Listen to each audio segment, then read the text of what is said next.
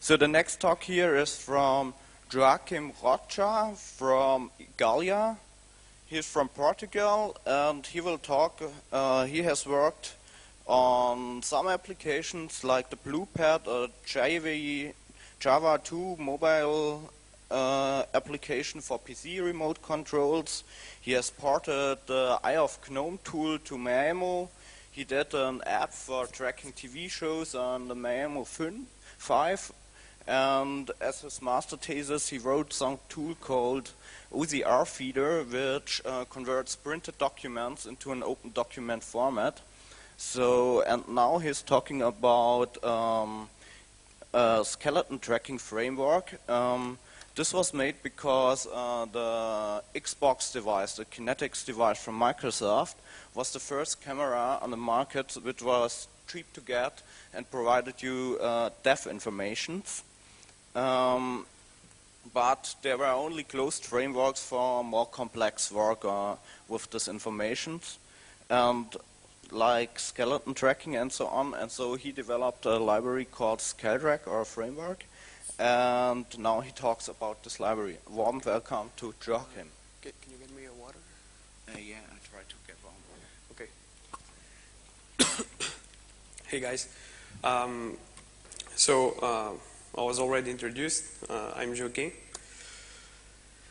So uh, I work at Igalia. It's a company in Spain. It's based in Spain, but it's joining hackers uh, around the world.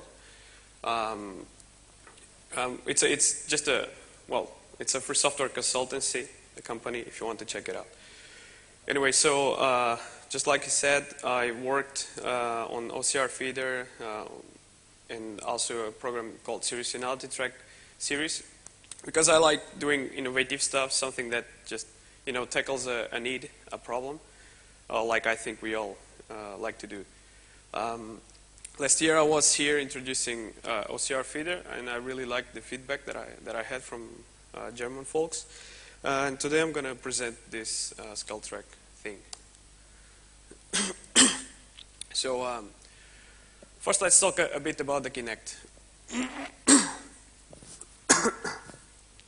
so the Kinect was the first uh, camera with a, a price affordable to, to the public uh, the first depth camera that, that is that people could afford because it, it's just over 100 euros and almost every developer can afford that to hack.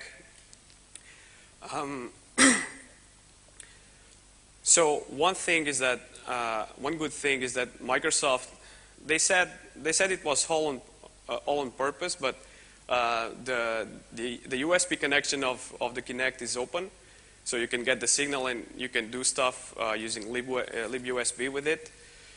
So I, th I think I heard that in the beginning they didn't like really uh, that people hacked the Kinect, but then they saw the tremendous success that it had, and they said, "Oh, we left it just like that on purpose." So I don't know which which story to believe, but anyway. So uh, because of the connection being open, it originated uh, open source projects like the, the libfreenect, uh, which allows you to control the Kinect uh, using, you know, this uh, uh, independent library, not from Microsoft. And you can use it on Windows, on Mac OS, and on, on Linux. So in Igalia, we do a lot of work in, in GNOME, and we like the, the glib um, library. Thank you. Um, so we developed a wrapper around libfreenect to be more friendly with uh, the way that we do stuff in GNOME. By the way, who, who knows glib or have used it here? Only one person. Two, okay, three. Uh, well, so we developed this wrapper and it offers some nice stuff like an asynchronous API, which is cool because it won't block your UI when you're trying to connect with the Kinect.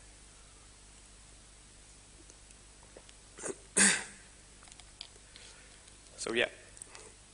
Uh, we also have some synchronous uh, functions because, for example, one of the functions, uh, the, one of the things that you can do with the Kinect is that it has a, a tilt. It's called the tilt, which is uh, a little engine that makes it go up and down when you put it on top of your TV or whatever. Uh, so we have an, an, an asynchronous function for that.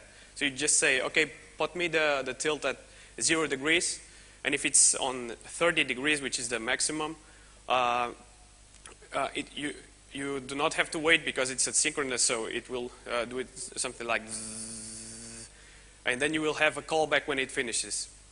But sometimes you don't need, you don't want to do that. If you have a command line application, for example, you just want to wait until it's on zero, so we offer some synchronous uh, functions as well.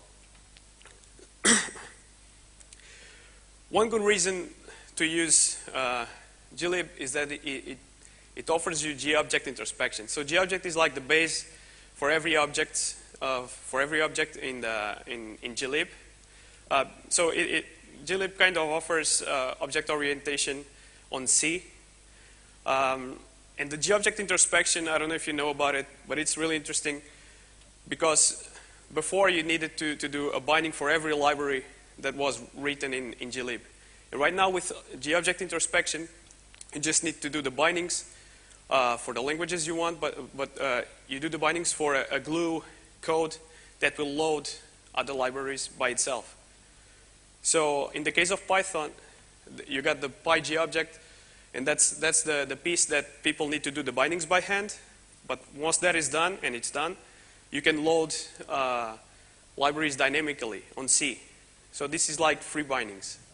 And you can use it on Python, on JavaScript, and on Vala. Vala is kind of a C-sharp uh, language for GNOME. So some people think that the Kinect is a stereoscopic camera. Uh, stereoscopic would be like, like we humans do. We have two eyes, and our brain just uh, do the calculations and says, okay, so I'm looking at this microphone, and it should be around this distance because I'm used to, to things being this distance, and I can compare all inside my brain. So the Kinect does, does not do this. The Kinect, what it does is that you see the, the, the circle on the left, on the farmost left, uh, that's, that emits a, an IR pattern, a light pattern. Uh, so the light then reaches you or whoever is in front of, of the camera. And the rightmost circle, it's a, an infrared camera. So that captures it, and the Kinect just sees the distortions in the, in the, in the image, and from that it can calculate uh, the depth. Uh, the circle in the, in, the, in the middle is a regular RGB camera. So people usually think that two of those cameras are the stereoscopic thing, but it's not like that. And this technique is called uh, um, structured light camera. Okay. But anyway, that information that it does uh, is just raw values from 0 to, to 2048. That's 11 uh, bytes. Uh, so I'm telling you this because people usually think that the Kinect already gives you the skeleton thing. My brother used to, to attend computer science. He's now moved to, to being a, to be a, a male nurse. uh, but he, he, told, uh, he watched my, the video I did for, for Skeltrack, and I asked him, so uh, do, do, you think it's cool? And he said, oh, it's pretty cool. What camera did you use? I, I said, I used the Kinect. And he said, uh, so what did you really do? Because the Kinect already does that. The Kinect does not do what I'm going to show you. The Kinect just gives you information about what's closer or what's uh, further. And the libfreenect, and of course the, the wrapper we did, the gfreenect, gives the, can give those values uh, in millimeters. So this is what you, you usually capture using the, the gfreenect. That, that's me, by the way. Uh, so uh, it's kind of difficult to see because it's in grayscale. But what I did was to, to put a, a threshold. Uh, so it, it didn't capture the walls and the chairs and everything that was in the office beside, uh, behind me. But it just captured uh, like a, a, threshold. Uh, and it's difficult to see, but that upper hand it's closer to the camera, it's like this, than this one. So it should be, it should be darker, but it, uh, I think you cannot really perceive that from that. anyway, this, what you just saw, does not, does not tell you that, that there is a person in the, in the picture. Uh, it, it, also does not tell you it's a cow or even the Ampelmann, let alone a skeleton and where the joints are. Because for that you need uh, another piece of software on top of this, uh, which is called a skeleton tracking solution. So, as always, you have proprietary stuff to do that. So let's do a bit of commercial work for Microsoft. And you got the, the Microsoft Kinect SDK, which is uh, for non-commercial work only. So that is, if you want to develop business uh, using this, this SDK, uh, you cannot. You can just do it for your uh, independent or student stuff, because you know if you if you want to do money, if you want to create value with it, uh, Microsoft wants a piece of that. Then you got the, the OpenNI or OpenNI or whatever. So this one is more open, as in in the sense of they, they have parts of the. Uh, this is like a framework, and they have parts that that, that are open, uh, and it's commercial compatible.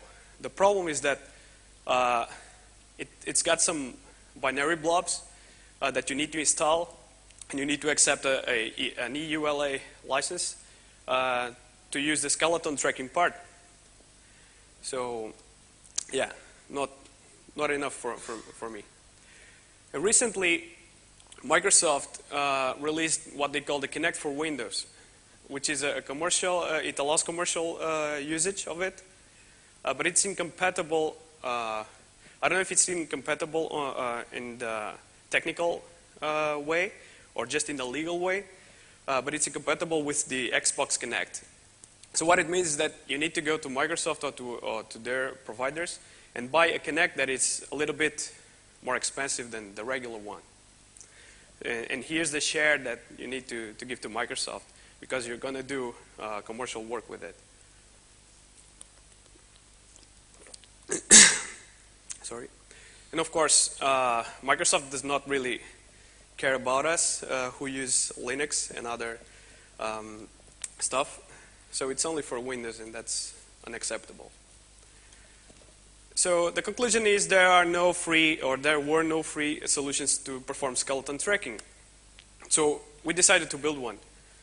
I think this is the way that open source works and should work, is that you see something that you are not satisfied with, and you should try to, to put your, your skills to work into it, even though uh, it's not really as, as easy as sometimes it sounds.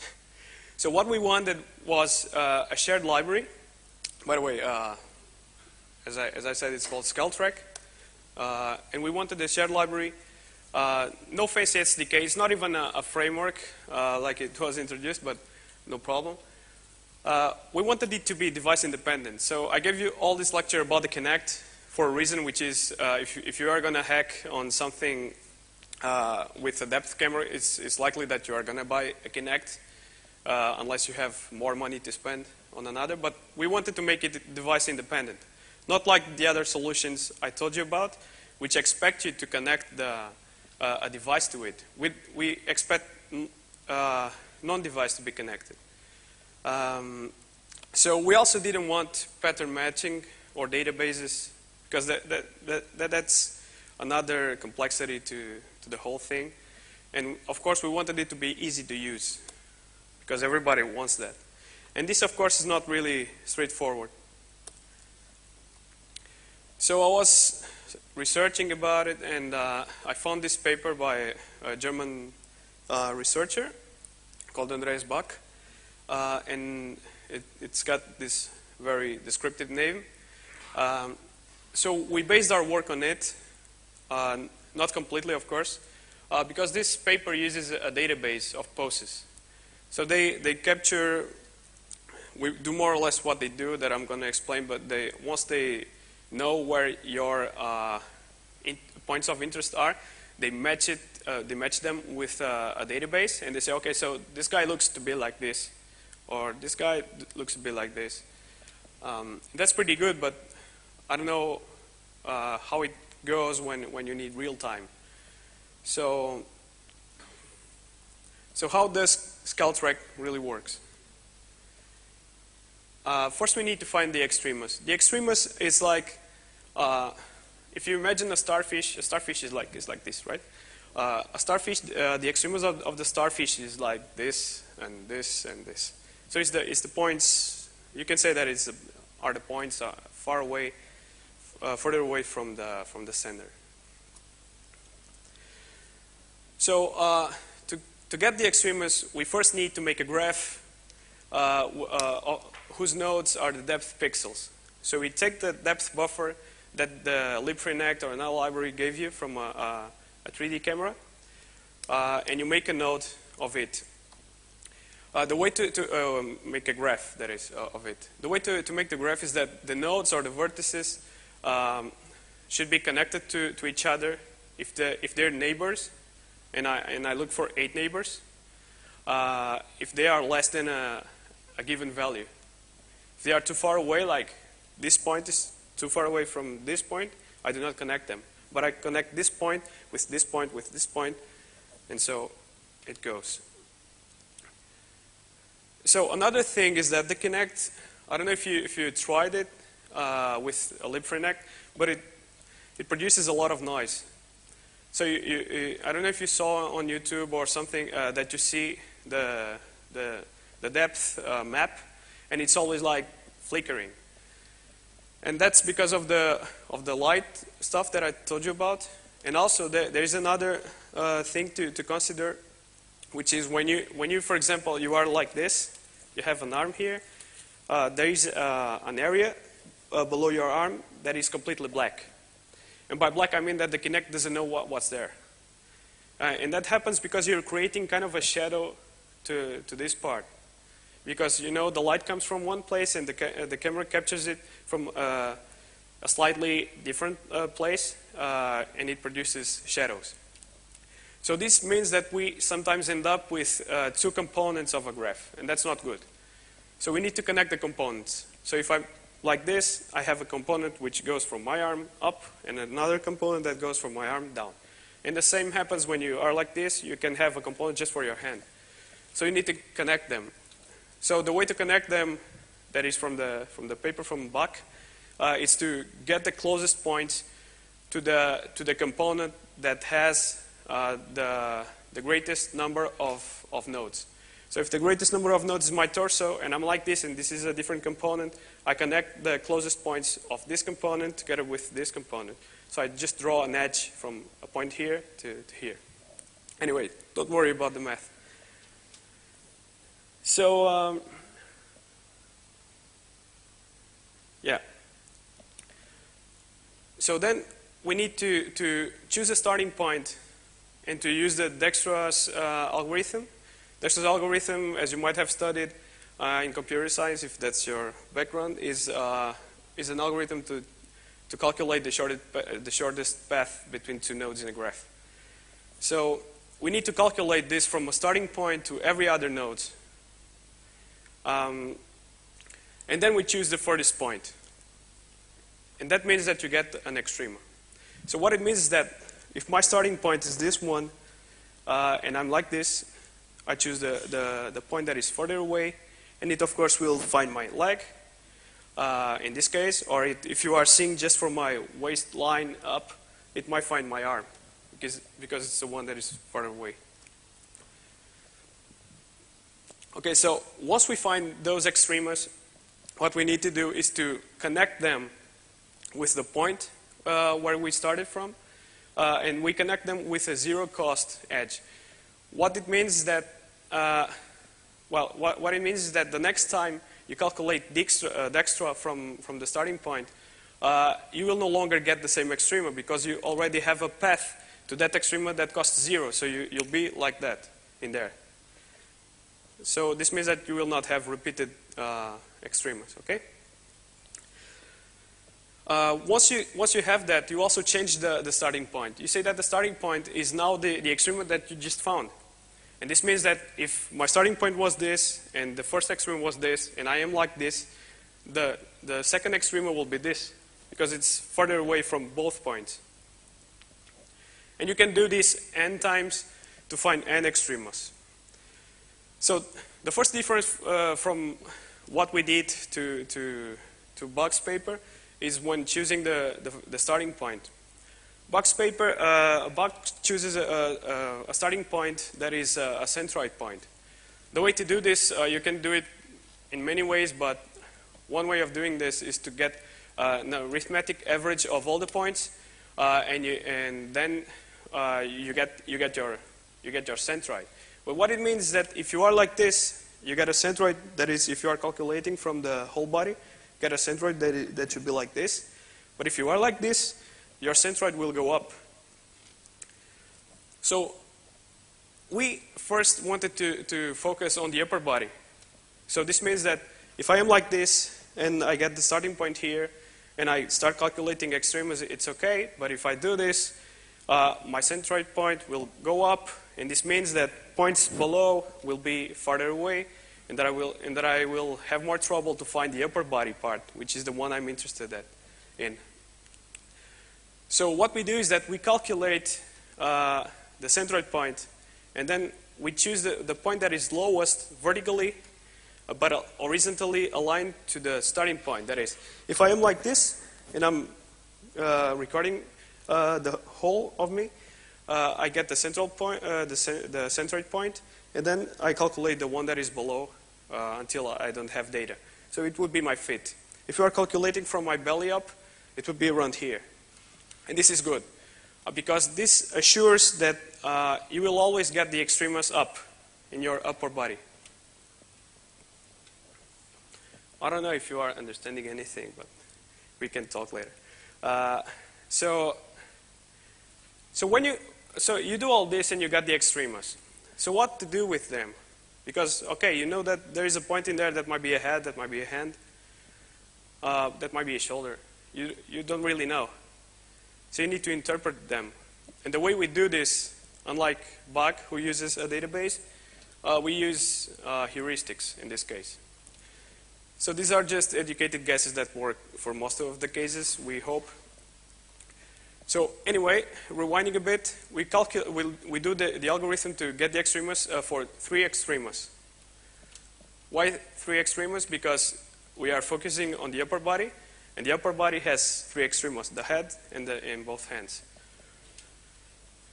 Um, so the next step to identify them is to, is to check each of them and to hope that they are the head. Uh, the way we do this is that we go through each extrema and we look for the points where the shoulders should be. Uh, this means that if the, if the first extreme is this hand and my hand is like this, for example, I go here and I say, okay, so the, the shoulders should be around here, here and here, and you do not have data in there. Uh, by the way, the, the values of these two imaginary shoulder points uh, are configurable. Uh, so you do this here, it will fail. You do this here, it will fail. You do it to the head and you get the shoulders. Of course, that sometimes, if you are like this, you might get one shoulder here and one shoulder here. We are trying to tackle that one. So, if they obey these rules, you get the head and shoulders.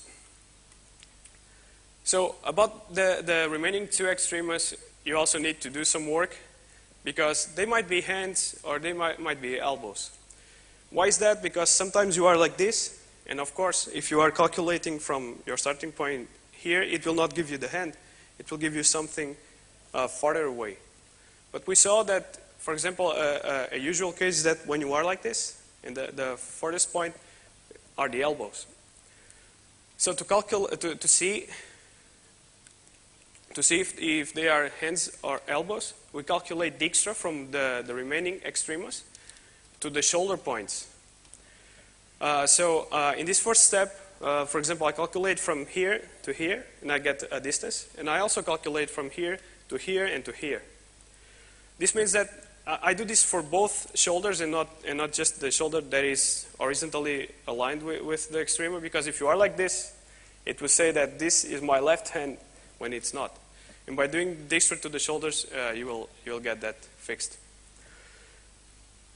Um, so about the hand and the, and the, elbow that I was explaining, once you know that, that an extrema is the left one and the right one, what, what we do is that we check if the distance to the shoulder is less than a, than a defined value, which can be changed as well.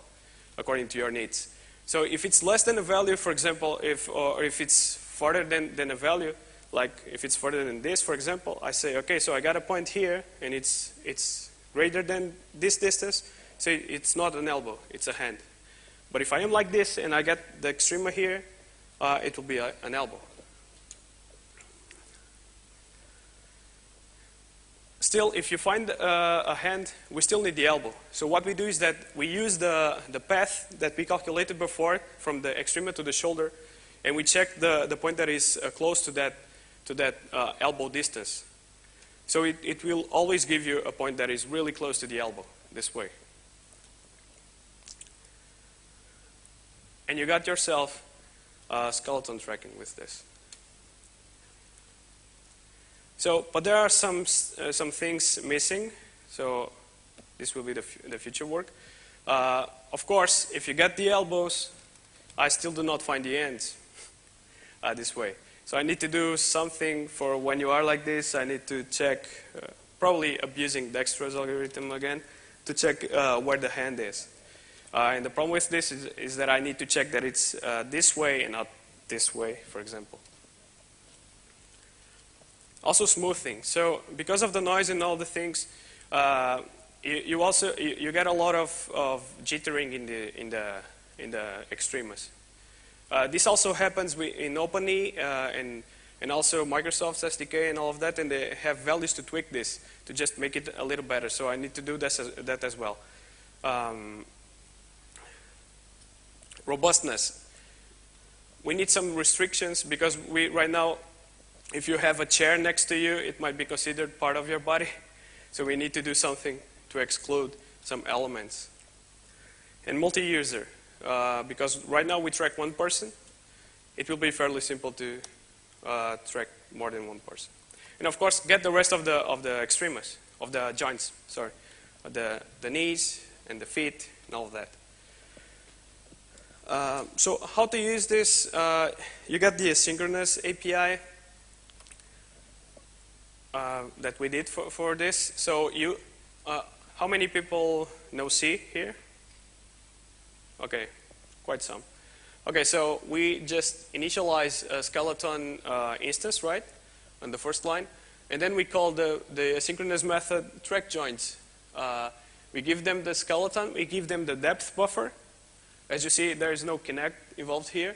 You have to give, of course, the width and the height of the, of the buffer. Uh, the first null argument, it's a, uh, a gcancelable. Uh, it's part of, of, glib, of glib's API for asynchronous functions. So uh, I have a null in there. It means that I do not have a, uh, a cancelable function that I will call to cancel to cancel this uh, this processing. And of course, I give them my callback, that is the on-track joints, which will be called once the, the joints are tracked. Uh, the remaining argument is null because I do not want to, to assign any errors, any error variable. So you define your callback on track joints. It has, of course, some, some predefined uh, arguments. Then we initialize some joints, and we, and we just uh, declare a list.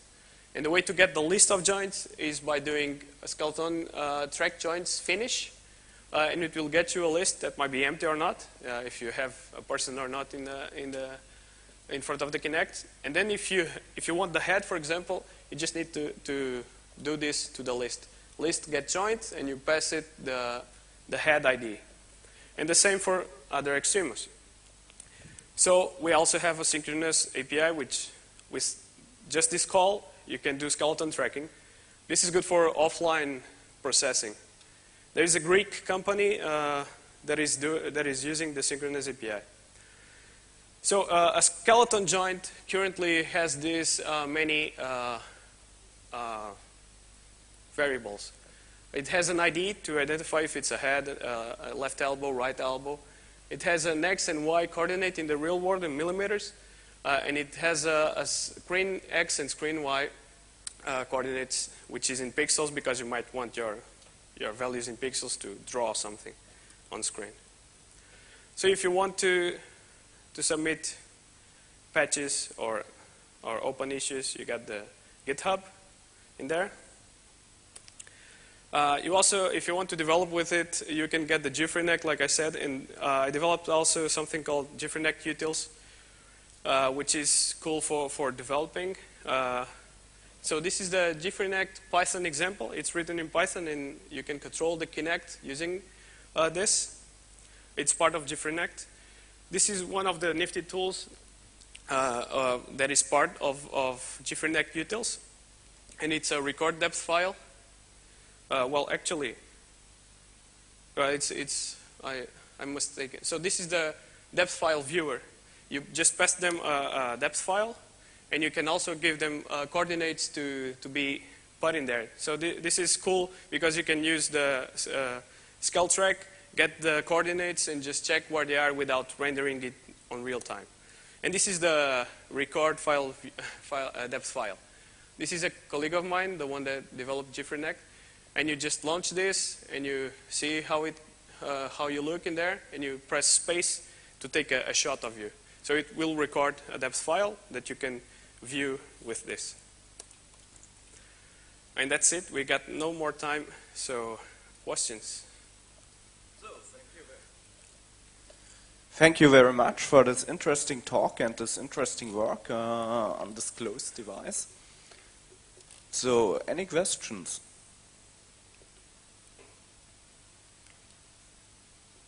No questions at all? Is that possible? Oh, by the way, I've got, I've got two Igalia mugs for, for the best question, so you might as well do one.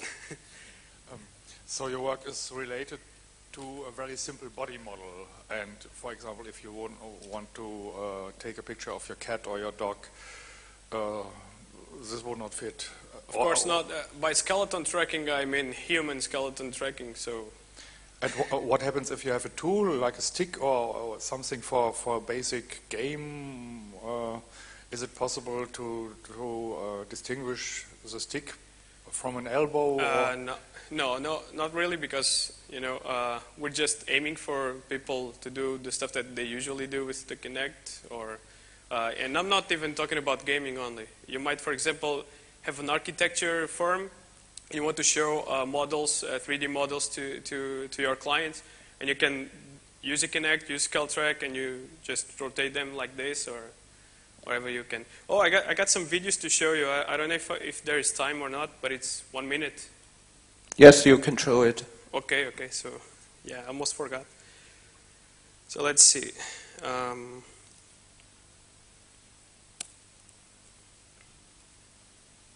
How much time do we got?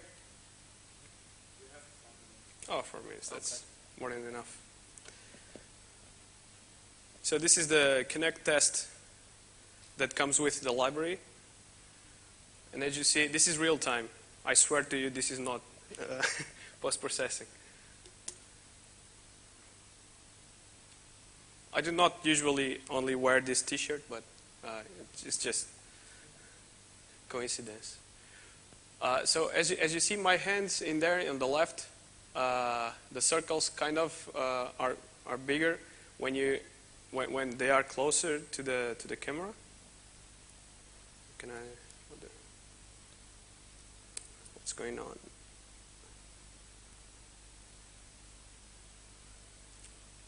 Yeah, so so you can see that, that the circles are slightly uh, smaller uh, when they are far away or and, and bigger when they are closer, right?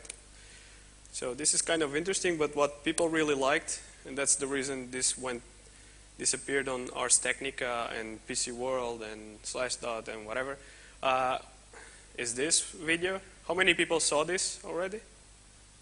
Nobody? All right. So this is the GNOME uh, desktop, and I just did a, a, small piece of code on top of Skeltrack to, to control XLib I connected to GNOME 3, and you got a desktop like uh, Minority Report and stuff.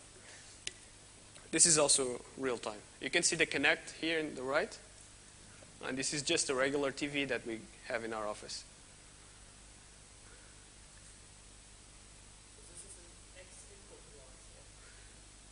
Uh, no, the, the, the code the code uses xlib, but just just because I had to to use something to feed GNOME with the events. So it's it's really simulating a mouse, right? And you can, uh, when I do pinch, I just simulate the mo- uh, mouse wheel up, uh, control mouse wheel up. You can do questions if you want. Uh, actually, do you have a plan to recognize if the person is looking at you or looking at away, away from you? Sorry. If you have the skeleton, you have no information if the person is looking at you, at the camera, or if it's looking away. It's, for, it's, it's about the same. If I'm looking towards the camera or away. No, no, because because we do not track the face. That's actually Right. one of the things I, I need to consider. Like when I get the extremis, probably it's a, it's a good way of of making it more robust, just to use OpenCV around the extremis area, and to do face detection. So of course, a, a, a hand will not will not be positive when you are looking for a face. Uh, in this way, we could be always certain that, that it's a it's a face uh, when we're looking for it. Yeah, so you, you can also play games in Linux using this. Cool. Are there any more questions? Okay. Actually, you say real time. How small can the hardware be to have the information real time? Uh, actually, a little ARM box with three, 400 megahertz will be able to give Talking you? about the minimal as- specs, yeah. uh, I don't really know. This is Okay. running on my laptop. Uh, this one. so uh, I really don't know. It's, Okay. it's a matter of, of trying it out. Uh, anyway, we, we, I did this, uh, of course, because there were no solutions, but because we have a small team in Igalia that is trying to trying to get uh, into interactive uh, installations uh, using free software. Uh, so we will try to run this on minimal hardware. It's not it's not going to run on I don't know Ar- Arduino I assume, but but yeah.